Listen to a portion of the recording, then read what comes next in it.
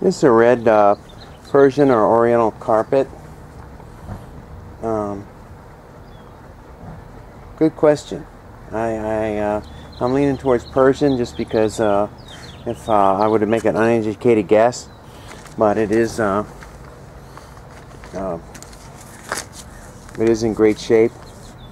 Uh, actual size is 48, just over 48 inches, as you can tell by the ruler, and 72 inches long. It's 20 pounds folded. Weighs about 20 pounds plus shipping box. And uh, the fringe is in good shape. Needs to be brushed. But uh, otherwise the fringe is looking pretty good. Colors are still good. No, uh, no real wear that uh, my untrained eye can tell. No spots or damage. We'll take a look at the fringe.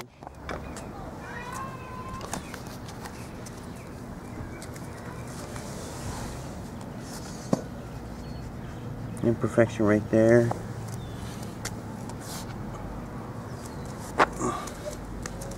I'll flip this over. You can get a good look at the underside. Here's an actual tag. I don't know if this means anything. C 2824. It's almost like a number, but the tag looks very old and it's hand stitched on. So, uh, don't know how significant that is. Obviously done in English. So that's your uh,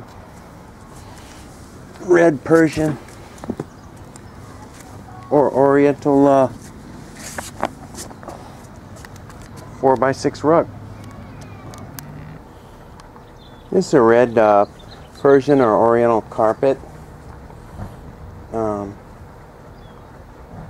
good question. I, I uh, I'm leaning towards Persian.